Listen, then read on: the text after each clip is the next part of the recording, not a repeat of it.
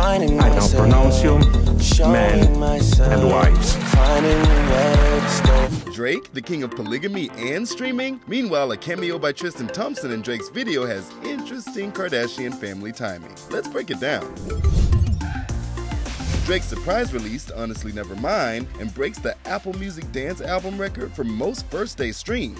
Though social media is alive debating about the sound and direction he took, people are for sure listening. The rapper's certified lover boy still holds the record for the biggest album in Apple Music history by first day streams. Now, as for the video for the single Falling Back, it features Tristan Thompson and Drake as he marries 23 women, and Tristan seems to embrace his Playboy ways.